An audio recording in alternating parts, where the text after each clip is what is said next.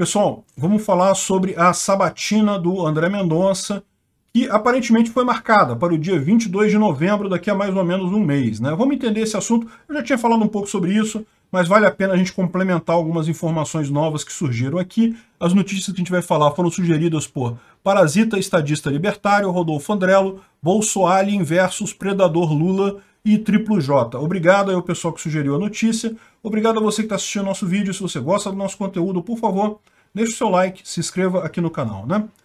Pois bem, é, eu falei para vocês algum tempo atrás que no momento que é, essa coisa toda ficou exposta, que é, não ia demorar muito tempo para ser resolvida a, a marcação da, da, sabatina do André Mendonça, mas eu cometi uma falha de entendimento. Né?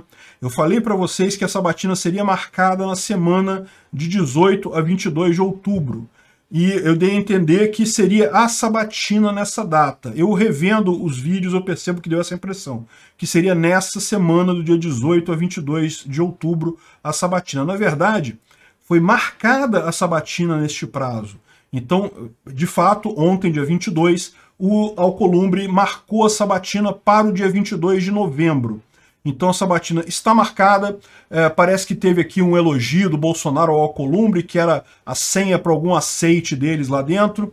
E é, o Senado deve sabatinar o Mendonça no dia 22 de novembro. O, isso aqui já foi avisado pelo Alcolumbre a diversos outros juízes e pessoas.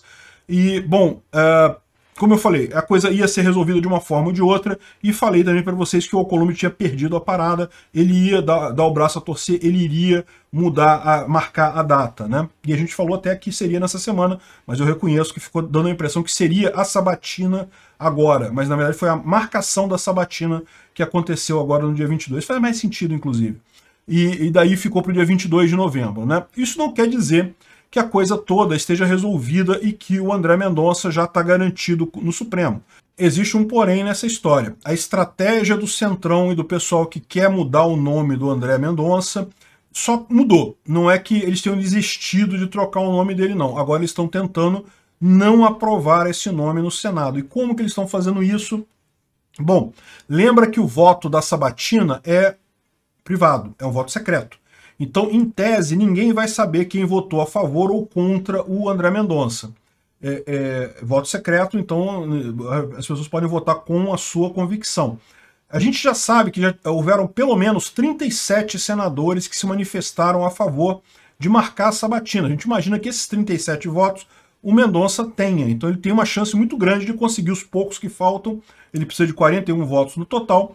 Então eu acredito que ele vai ser indicado, mas a estratégia do grupo é agora tentar convencer os é, senadores de que o André Mendonça é ruim porque ele é lavajatista. Ninguém no Senado gosta da Lava Jato por motivos óbvios, é, e o Alcolumbre está mostrando aos senadores os apps do André Mendonça a Lava Jato que vazaram lá na Vaza Jato. Né? Vocês lembram? A Vaza Jato foi aquela, aquela liberação de, de informações no Telegram que foi feita lá pelo hacker de Araraquara e coisa e tal. E essa, essa, esse vazamento de informações, isso aparentemente tem mensagens favoráveis do André Mendonça à Lava Jato, e isso é uma coisa que muito senador não gosta. Os senadores não querem esse tipo de coisa, é, é, não querem lavajatismo. Né? Então a expectativa do grupo agora é convencer os senadores a votar contra. Marcaram a, a audiência? Marcaram. Vão chegar lá e vão votar contra. Veja, para Bolsonaro isso não faz tanta diferença assim, porque se o Senado recusar o André Mendonça, ele não saiu derrotado, né? Na verdade, ele indicou o nome, era o nome que ele queria, coisa e tal, mas o Senado tirou o cara, ele não tem o que fazer, ele vai indicar outra pessoa. É muito menos pior do que a situação anterior, que era ele perder a vaga, né?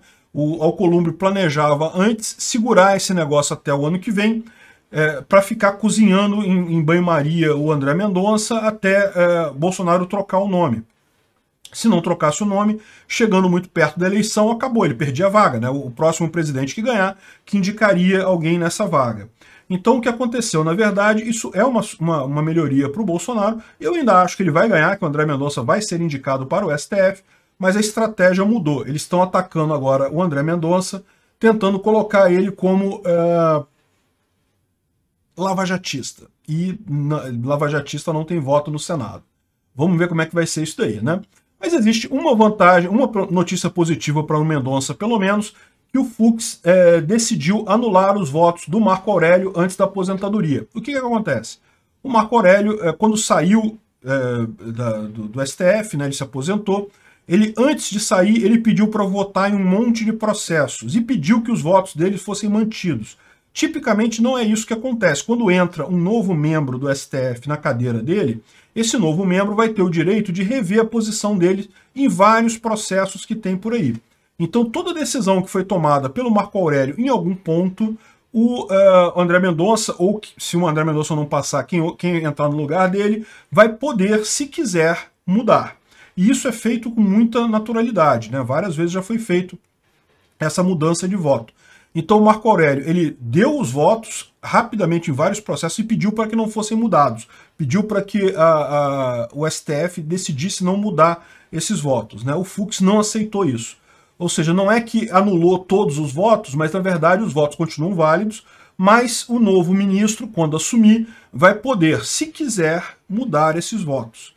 Então isso é uma coisa positiva, porque senão o Marco Aurélio corria o risco, o Marco Aurélio não, o André Mendonça corria o risco de, de, entrar na posição e não ter o direito que todos os demais tiveram de rever os, dados, rever os votos anteriores da, do ministro anterior que eles substituíram. Né? Então, nesse caso, realmente acabou sendo uma coisa é, é positiva para o André Mendonça, e isso é uma coisa positiva para o Bolsonaro também, porque tem muita decisão do Marco Aurélio. O Marco Aurélio é um cara extremamente garantista, então tem muita posição ali que ele pode rever ainda. Né? É lógico, julgamentos que já transitaram em julgado, que já concluíram, os votos não podem ser alterados. Mas os julgamentos que estão no meio do caminho, e tem muito julgamento no meio do caminho lá, ele vai poder mudar o voto sim. Obrigado por sua audiência. Se gostou do vídeo, por favor, deixe o seu like e se inscreva no canal para aumentar a relevância dele no YouTube. Assim, mais pessoas terão acesso às ideias da liberdade. Considere clicar no sininho e pedir todas as notificações para ser avisado de novos vídeos. Se quiser contribuir sugerindo notícias, vá em nosso site ancap.su, cadastre seu usuário, clique em sugerir pauta. Basta colocar o link da notícia, escolher a melhor foto e confirmar. Se quiser contribuir com o canal financeiramente, veja as formas de apoio nos links da descrição do vídeo. Contribuindo, você pode fazer parte do Discord dos patrocinadores. Se quiser camisas com a marca do canal, veja nossa loja no site pimentanocafé.com.br barra visão libertária. O link está na descrição do vídeo.